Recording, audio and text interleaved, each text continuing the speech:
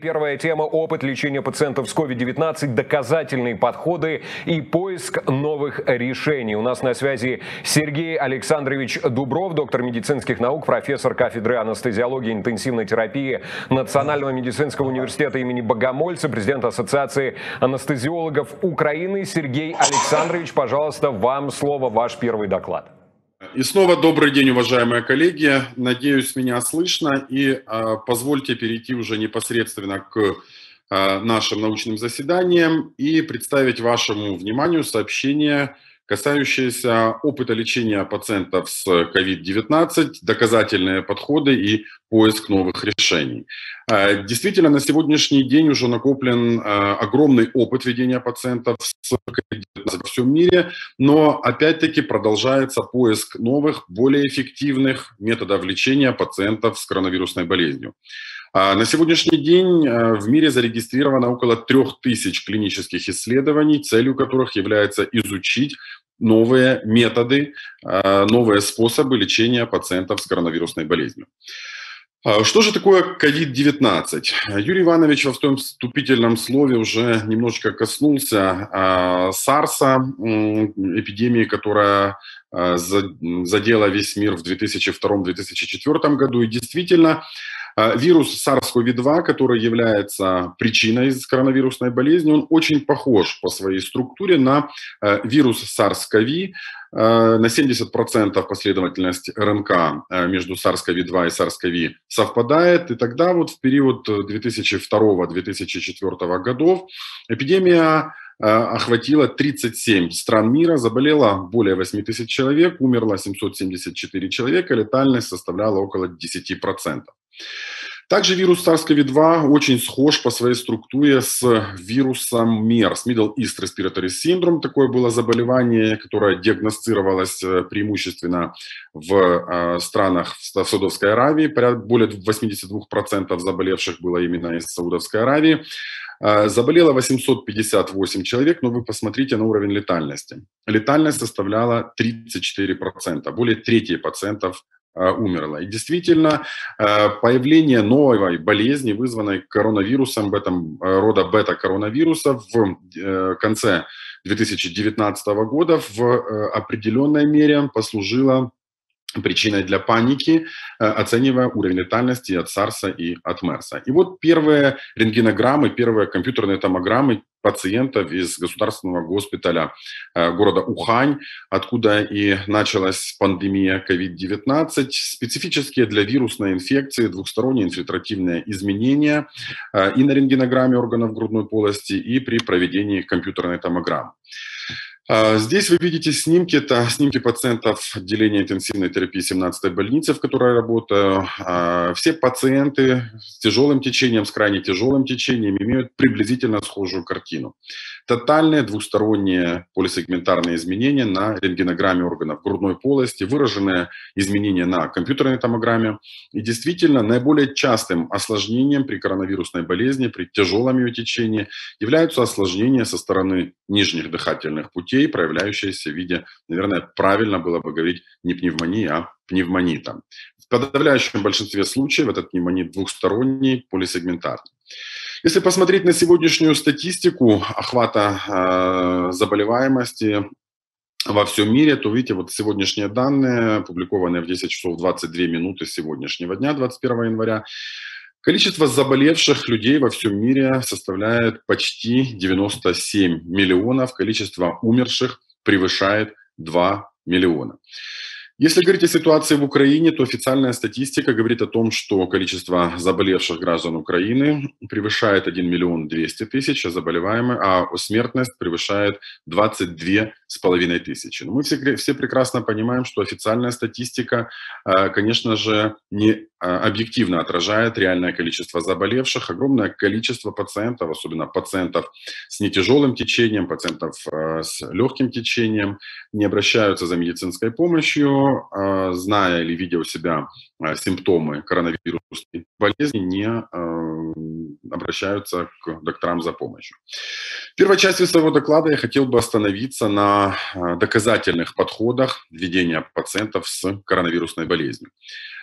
Действительно, если говорить о рекомендациях, протоколах которые доступны, которые рекомендованы ведущими экспертами или экспертными обществами в мире, то за период более чуть годовой э, от момента появления коронавирусной болезни протоколы, стандарты и рекомендации довольно существенно менялись. И действительно взять любую страну, 6-8 изменений или дополнений к протоколам и рекомендациям были.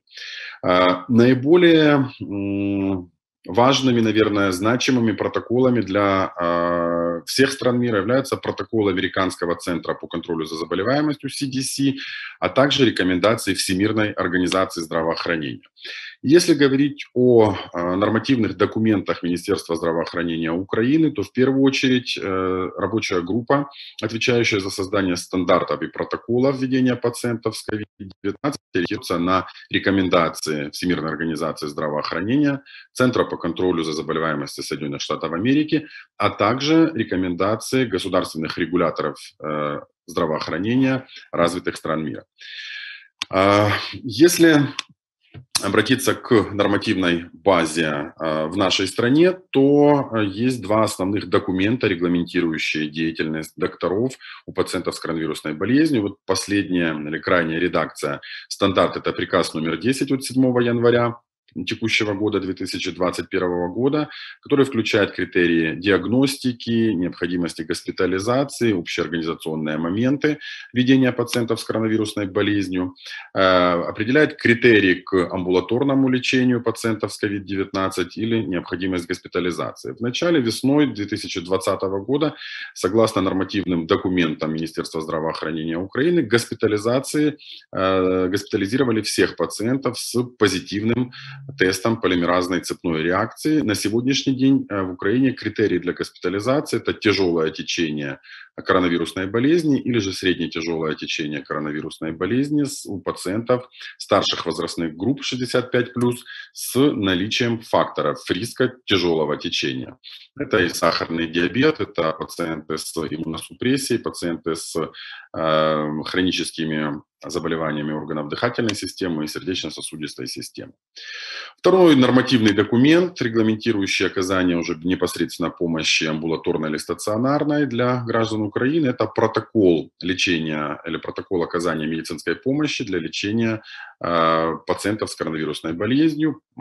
Крайняя редакция протокола – это приказ 3094 от 31 декабря 2020 года. А, если говорить об амбулаторном лечении с точки зрения доказательных подходов, пациенты с коронавирусной болезнью при легкой степени тяжести заболевания, отсутствии затрудненного дыхания, а, минимум лечения на амбулаторном этапе, полноценное питание, соответствующая регидратация, симптоматическое лечение, которое заключается в возможности назначения жаропонижающих препаратов при фибрильной температуре, при температуре превышающей 38,5 градусов с ограничением доз э, в протоколе это четко расписано.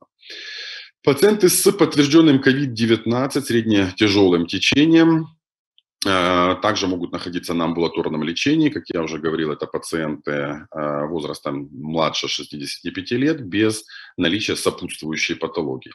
Также а, при среднетяжелом течении коронавирусной болезни пациентам на амбулаторном этапе рекомендовано полноценное питание, адекватная регидратация, симптоматическое лечение жаропонижающее и четко прописано в протоколе отсутствие необходимости использовать кортикостероидов для тех пациентов, которые не нуждаются в кислородной поддержке. А, а, указано о противопоказании назначения антибактериальных препаратов а, без обоснованного подтверждения бактериальной коинфекции, а также рекомендована вентиляция в проун-позиции при снижении сатурации. Э, данный слайд – это рекомендации начальные еще с CDC, Всемирной организации здравоохранения, включающие четыре основных момента или направления ранней поддерживающей терапии у пациентов с тяжелым течением острой респираторной инфекции. Конечно же, на всех этапах при тяжелом течении острой респираторной инфекции э, стоит кислородотерапия. Целевые показатели насыщения гемоглобина артериальной крови у взрослых пациентов э, должно превышать 90%. Для беременных женщин этих, этот показатель составляет 92-95%. А, очень важный момент предупреждения ухудшения оксигенации путем применения стратегии э, рестриктивной инфузионной терапии. Не буду долго останавливаться на инфузионной терапии, поскольку следующий доклад нашего друга, прекрасного ученого, эрудированного спикера и замечательного человека, э, президента э, Российской Федерации анестезиологов-реаниматологов Константина Михайловича Лебединского, будет посвящен непосредственно проведению инфузионной терапии у пациентов с COVID-19. Антибактериальные препараты назначаются лишь в том случае, когда есть обоснованное, лабораторно подтвержденное подозрение на бактериальную инфекцию. Ситуация, которая сложилась с назначением антибактериальных препаратов, она приближается к катастрофической. Э, такая же ситуация не только в Украине, а и в России, и в развитых странах. Я думаю, что в Узбекистане, наверное, Узбекистан является не исключением. Э, старт лечения температуры антибактериальными препаратами. Дорогие друзья, мы должны помнить о том, что Коронавирусная болезнь – это вирусное заболевание, которое антибиотиками не лечится. Очень небольшое количество пациентов с коронавирусной болезнью имеет бактериальную коинфекцию. По данным наших американских коллег, это не больше 3,5%. То есть подавляющее большинство пациентов с COVID-19 не требует назначения антибактериальных препаратов. И, в принципе, если взять опыт э, ведения пациентов э, в лечебном учреждении, в котором работаю я, это 17-я больница города Киева, в ковидном корпусе не более 10% пациентов госпитализированных получают антибактериальные препараты. Основой, стартом лечения пациентов с COVID-19 есть оксигенотерапия. Используя различные девайсы для доставки кислорода. Это могут быть назальные канюли, простая кислородная маска или э, кислородная маска с э, резервуаром или э, дыхательным мешком у подавляющего большинства пациентов с COVID-19 с низкой сатурацией менее 90% позволяют достичь целевых показателей насыщения гемоглобина артериальной крови кислородом, то есть выше 92% без каких-либо дополнительных э, лечебных методов. Если простые девайсы, назальная канюля, лицевая маска или маска с резервуаров недостаточны для достижения целевых параметров э, насыщения гемоглобина артериальной крови кислородом, в этом случае э, возможно использование неинвазивной вентиляции легких или же использование систем э, высокопоточной оксигенации, э, назальной канюли высокого потока, которые позволяют достичь потока или подачи кислорода до 60 литров в минуту. Однако в нашей стране использование систем высокопоточной оксигенации несколько ограничено, учитывая когда, ситуацию, когда в одном лечебном учреждении 3, 5, 7 пациентов требуют э, высокопоточной оксигенации. Не всегда э, пропускная способность кислородных систем позволяет обеспечивать эм, данный метод респираторной поддержки, хотя если говорить о одном, двух, трех пациентах, э, то в принципе метод довольно-таки неплохой.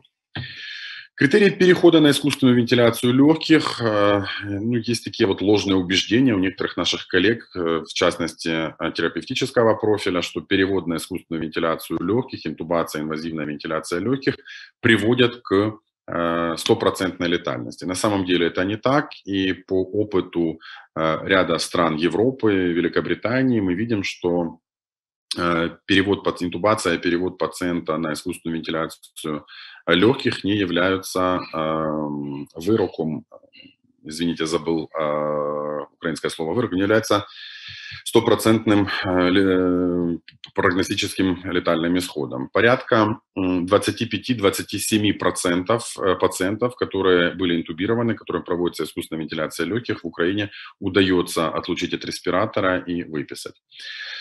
Критерии для перевода на искусственную вентиляцию – это снижение сатурации менее 85. Один из основных критериев – это нарушение сознания, психомоторное возбуждение, выраженное тахипное, более 45 э, дыханий в минуту с привлечением вспомогательных мышц, то есть истощение пациента за счет высокой работы дыхания. Крайне важным методом, который относится также к, методов, э, к одним из методов э, доказательной медицины ведения пациентов с коронавирусной болезнью, является применение прон-позиции или вентиляции в положении на животе. Первые рекомендации и ВОЗ, и CDC говорили о необходимости проведения вентиляции в прон-позиtion для пациентов, которые находятся на искусственной вентиляции.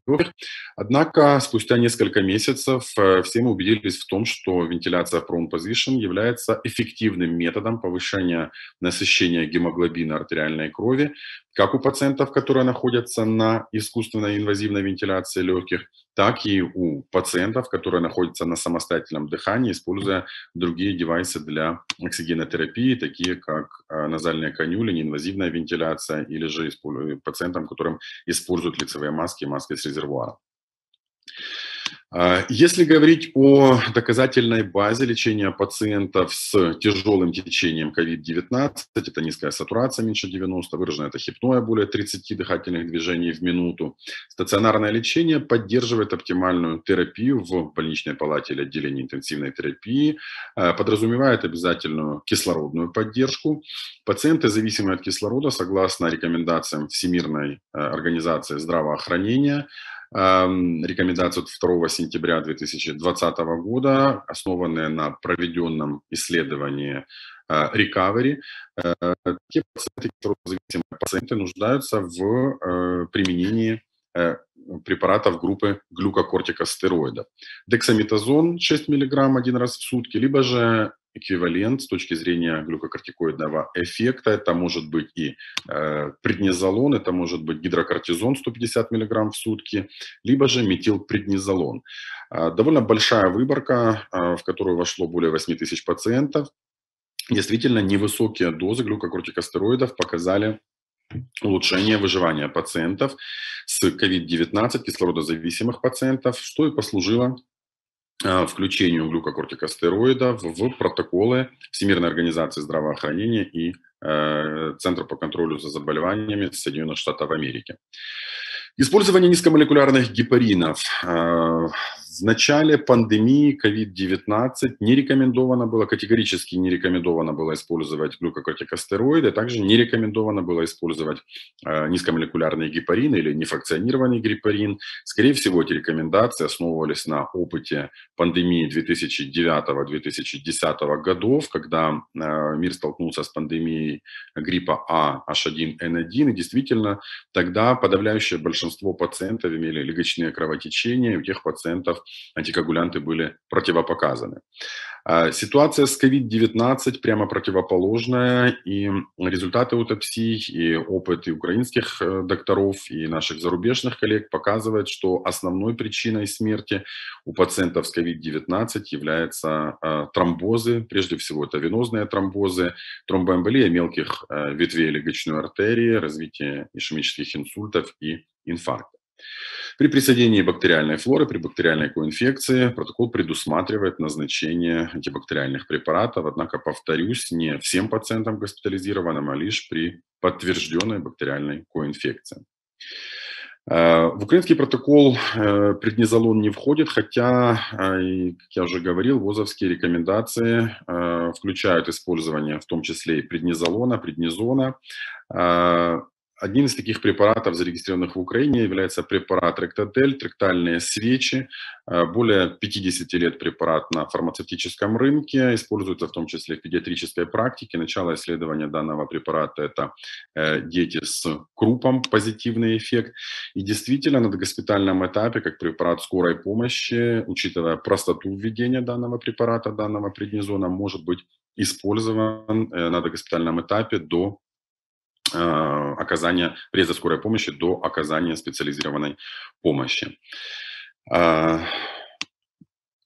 COVID-19 э, и тромбоз. Я уже говорил о том, что основной или одной из основных причин смерти у пациентов с коронавирусной болезнью является тромбоз. И действительно, целый ряд клинических исследований показывает частоту тромбоза даже при проведении тромбопрофилактики, используя стандартные дозы э, низкомолекулярных гепаринов или нефракционированного гепарина. Порядка 30-35% пациентов, особенно пациентов с тяжелым и критическим течением, имеют тромбозы. Э, действительно, Европейская независимая фундация ангиологии и сосудистой медицины 20, 13 сентября прошлого года издала гайдлайн по ведению пациентов с COVID-19, направленный как раз на профилактику венозного тромбоэмболизма. И подавляющая часть пациентов с коронавирусной болезнью нуждается в применении либо высоких профилактических доз антикоагулянтов, э, либо в некоторых случаях даже лечебных доз низкомолекулярных гепаринов или нефрактонированных гепарина, в чем мы на своем опыте также убедились, и абсолютно все пациенты э, получают тромбофармакологическую тромбопрофилактику в отделениях интенсивной терапии. Конечно же, если нет противопоказаний, в приказе МОЗ Украины, в протоколе четко прописаны противопоказания, это тромбоцитопения, активное продолжающееся кровотечение, Довольно большое количество пациентов с высоким уровнем дедимера, с выраженной гиперкоагуляцией. Э, это порядка 60-70% отделений, пациентов отделений интенсивной терапии находятся на постоянной инфузии гепарина под контролем. Э, на данном слайде приведена схема, алгоритм тромбопрофилактики у госпитализированных пациентов с COVID-19. И вы видите, э, не буду останавливаться на дозировке дозы высокие профилактические для всех пациентов. Э, если говорить для пациентов в отделении интенсивной терапии, то э, стандартные профилактические дозы увеличены вдвое. То есть, если говорить об аноксапарине, например, то это 4000 международных единиц не один раз в сутки, а два раза в сутки. У пациентов, которые переводятся на амбулаторный этап, у которых остаются высокие факторы риска развития венозной тромбоэмболии, 4 и более баллов по шкале Каприни, длительность тромбопрофилактики должна составлять не менее 4-6 недель. Это основные пункты, основные позиции, которые имеют э, доказательную базу, которые четко и жестко рекомендованы Всемирной организацией здравоохранения и CDC э, Соединенных Штатов Америки. А сейчас я хотел бы остановиться на второй части своего доклада. Это поиск новых решений ведения пациентов с COVID-19, э, с коронавирусной болезнью. Действительно, поиск оптимальной терапии при лечении COVID-19 на сегодняшний день должен быть основан на двух направлениях. Это, прежде всего, таргетная терапия, которая направлена на подавление вируса, создание специфического гипериммунного иммуноглобулина, разработку специфических антивирусных препаратов, были большие надежды на ряд препаратов, однако, к сожалению, э, окончательные данные э, исследований не показали ожидаемой эффективности ни от э, фавипиравира, ни от ремдесивира, на которые возлагались огромные надежды в борьбе с COVID-19. Разработка вакцин, вы знаете, уже в мире с конца, с декабря прошлого года началась активная вакцинация против COVID-19. Также следующим направлением э, терапии э, пациентов с COVID-19 э, это терапия патогенетическая, направленная против потенциально летальных механизмов, имеющих место в ходе болезни. Прямая иммуносупрессия для ряда пациентов, использование э, того же тоцилисумаба или актемры, разноречивые данные э, разных специалистов, разных исследований. Одни видят эффективность использования тоцилизумаба, другие специалисты или исследования не видят преимуществ использования тоцилизумаба. Исследования продолжаются. Я думаю, что так быстро мы не сможем найти эффект. доказать эффект или неэффективность данного препарата, но опыт а, в мире накоплен уже довольно большое использование тоцилизумаба. Противовоспалительная терапия, кортикостероиды, использование высоких доз кортикостероидов, а, так называемая пульс-терапия, в качестве иммуносупрессивной терапии. Также следующее направление – это иммуномодулирующая терапия, использование препаратов внутривенного иммуноглобулина в высоких дозах. И действительно, в Украине исследования закончилась с довольно небольшой выборкой. Предоставлю результаты коротенько этого исследования.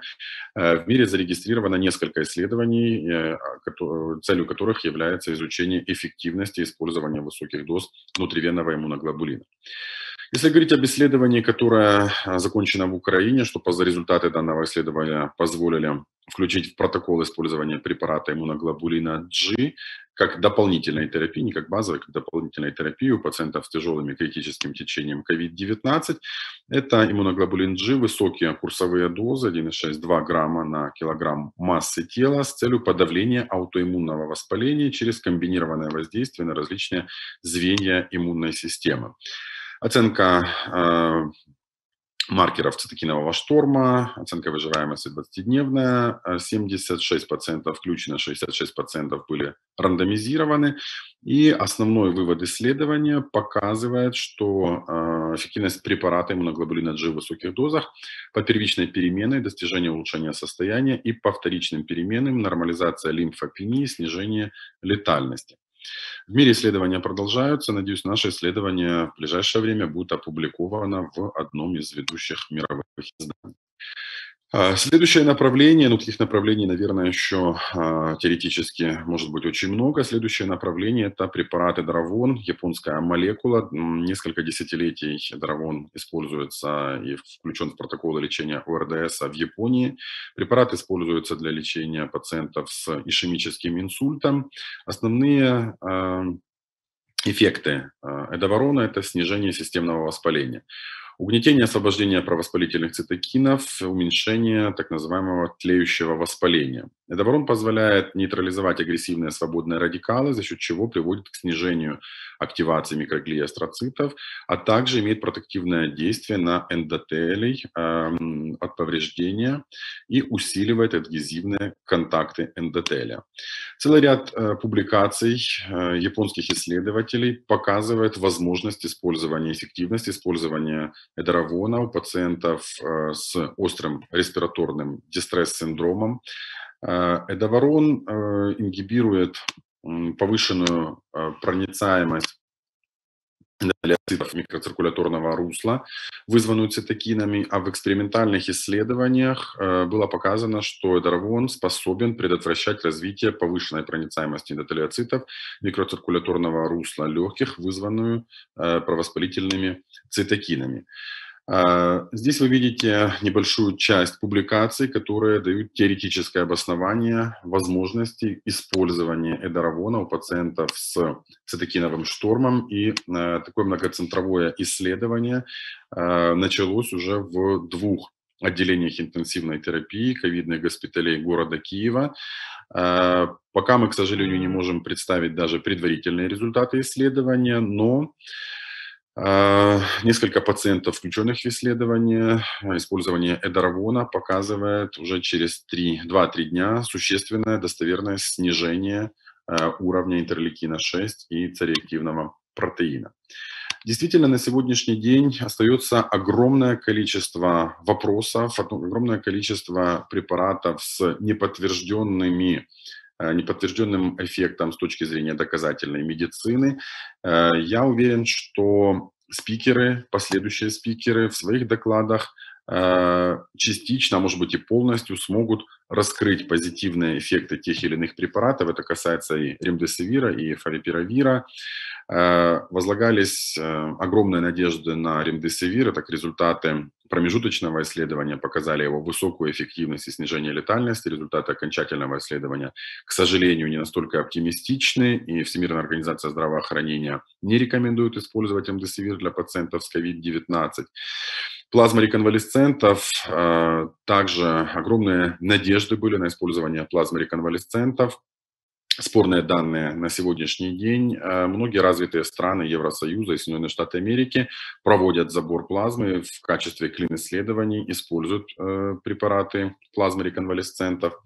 Иммуноглобулин G, о чем мы уже говорили, продолжаются клинические исследования. Специфический иммуноглобулин G от реконвалесцентов, тоцилизумаб, оксид азота – я думаю, что академик Чучалин в своем докладе остановится на эффективности использования оксида азота. Мы имели возможность смотреть трансляции лекции академика Чучалина по теоретическому обоснованию эффективности данного препарата у пациентов с COVID-19.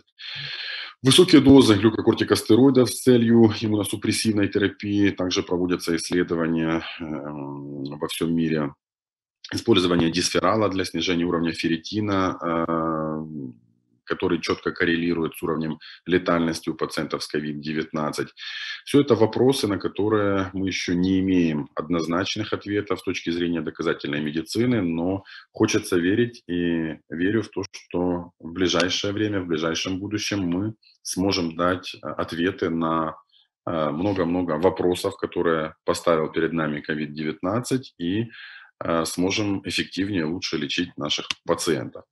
Спасибо, уважаемые коллеги, и с большим удовольствием буду э, ждать вопросов и отвечать на ваши вопросы. Как часто нужно менять положение больному, который находится в пронпозиции на неинвазивной кислородной поддержке? Спасибо за ответ. Замечательный вопрос. А, почему замечательный вопрос? Потому что в первоначальных рекомендациях ВОЗ было написано, что положение Prone должно быть 16 часов в сутки, но не расшифровано, что положение нужно менять каждые 3-4 часа. А, длительное нахождение в прон-позиции может привести к осложнениям, а, вплоть до слепоты, описаны и такие осложнения. То есть смена положения тела, бока, живот, живот, бока каждые 3-4 часа.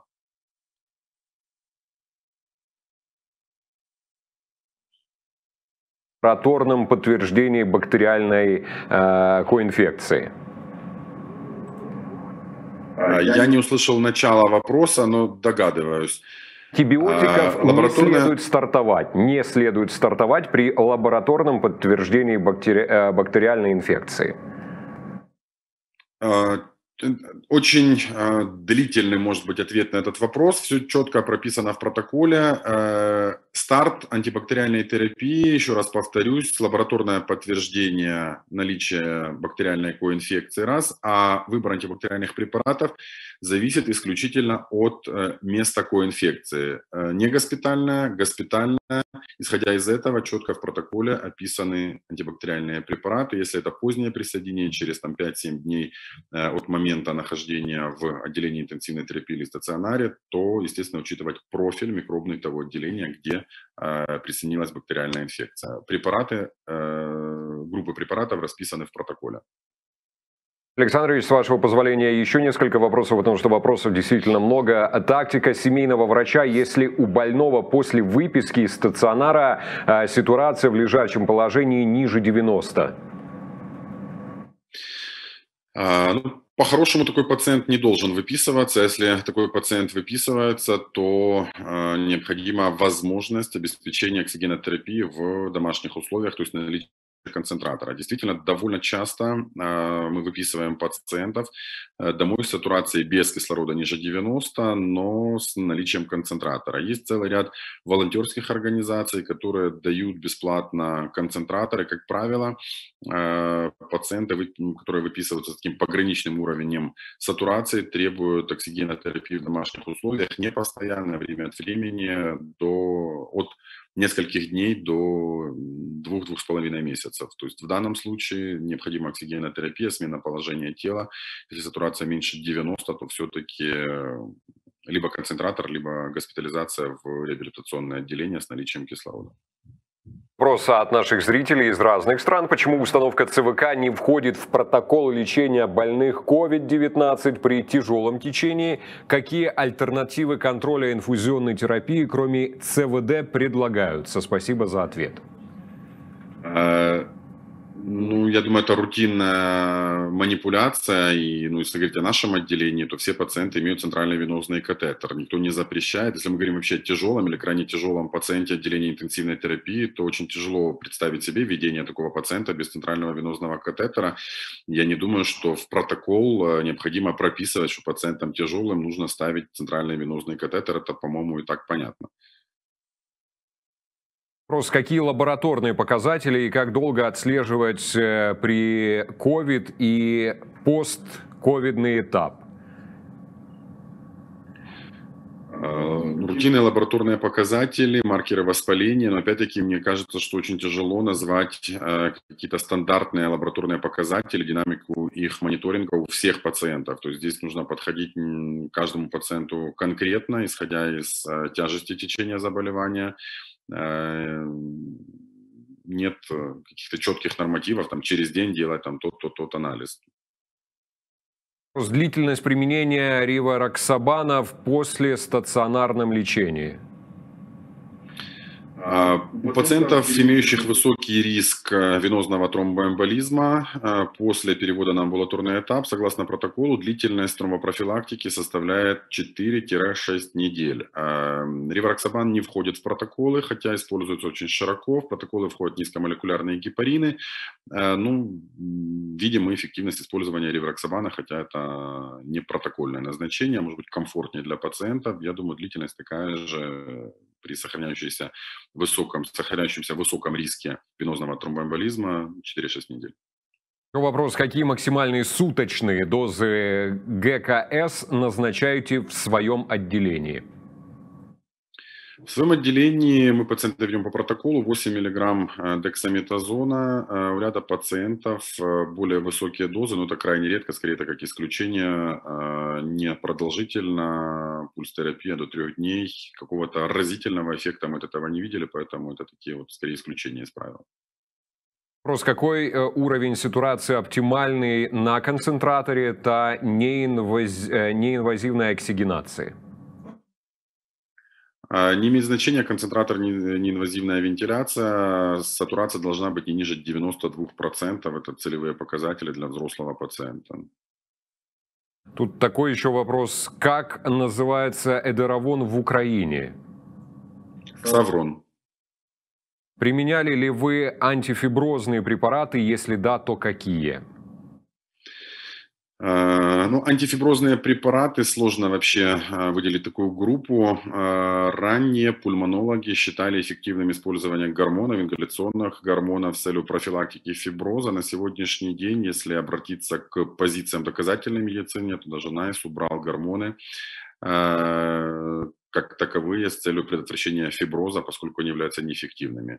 Может быть, коллеги-пульмонологи добавят или дополнят, но, к сожалению, мне не удалось найти в доступной литературе э, эффективных препаратов для предотвращения фиброза.